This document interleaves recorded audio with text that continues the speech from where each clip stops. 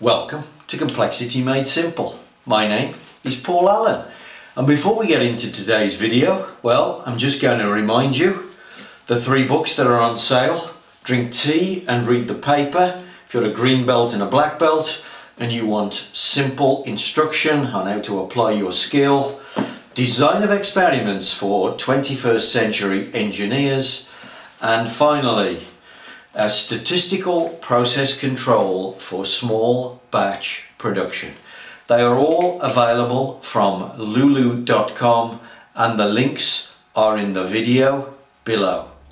Welcome to the latest video and in this video newsletter what we're going to talk about is the use, it's a very specific technical video about the use of first article inspection. So I have a number of clients who use first article. Uh, spell it correctly. First article inspection. Like a lot of these things, we like to shorten it to a three letter acronym and they typically call it a FAIR. So here's the here's the video what is a fair actually for?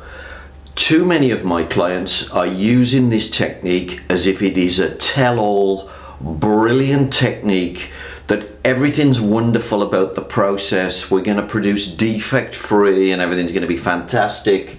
And this single piece is the golden sample. Okay, so let's talk about what a first article inspection is really capable of doing, what it's for, what it's definitely not for. Now in order to do this I'm going to, I'm going to draw a little product. Let's have a look. It's been a long time since I've done any technical drawing uh, but let's assume that what we're doing is we're making a piece. We're on your five axis machining center. We're machining a block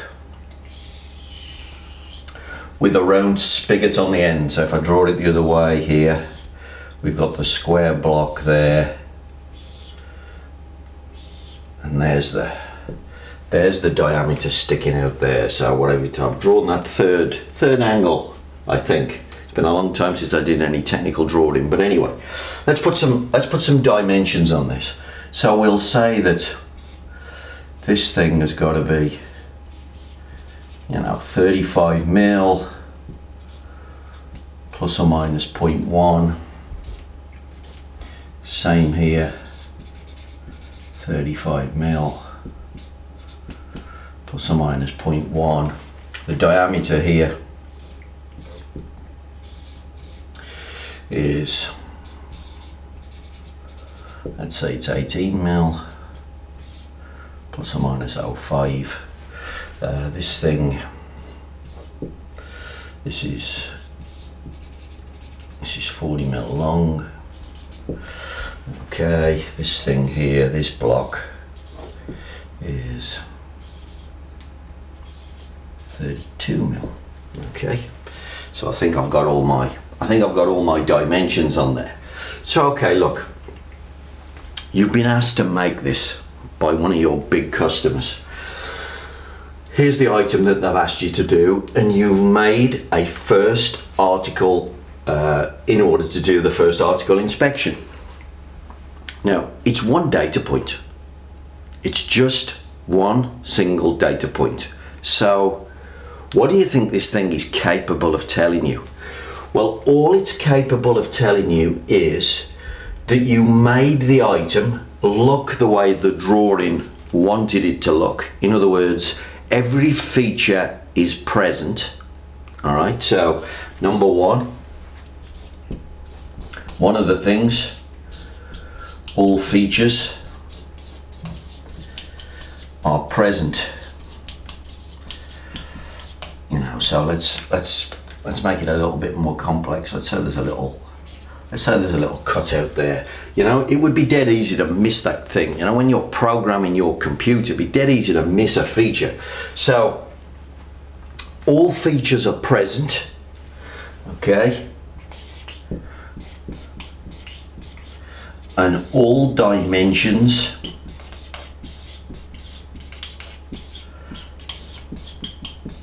are set correctly. And that's it.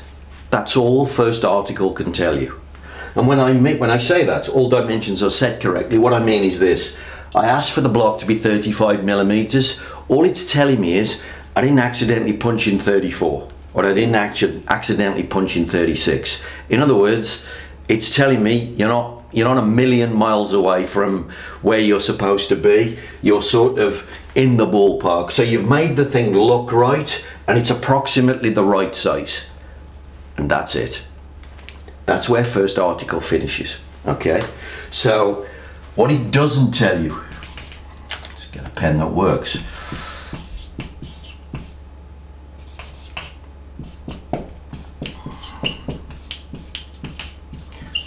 Doesn't tell you that your process is good. In other words,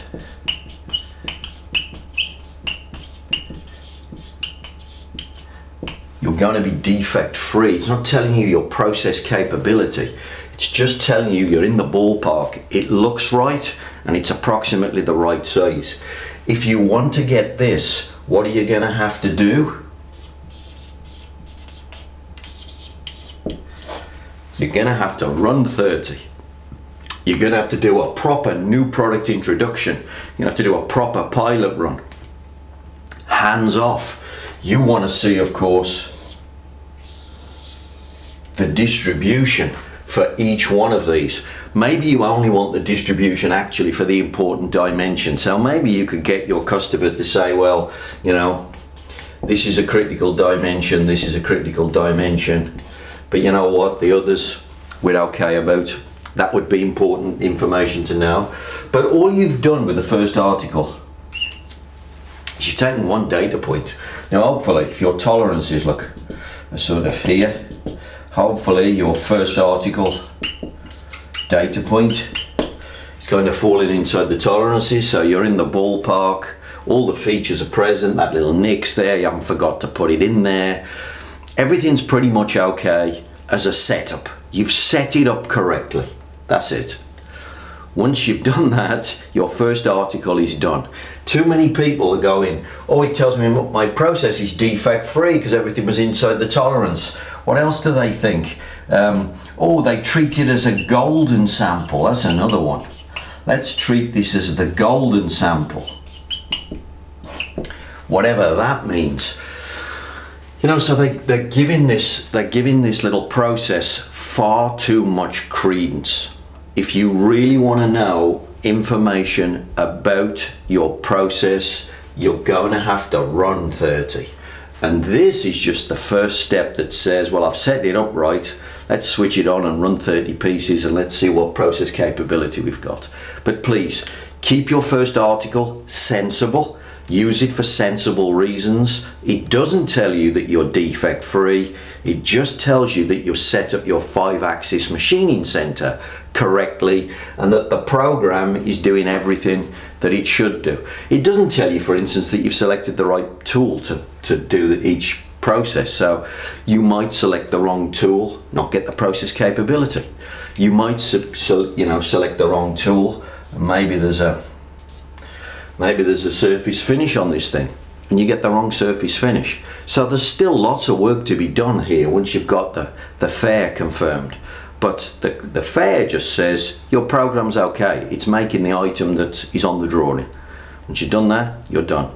Use first article inspection correctly, go run the extra 30, get your process capability. Then you can find out a lot about whether you're going to make any money on this job or not, or whether you're going to have lots of defects or not, whether you've got work to do before you put the job live. Use your first article inspection properly, make more money.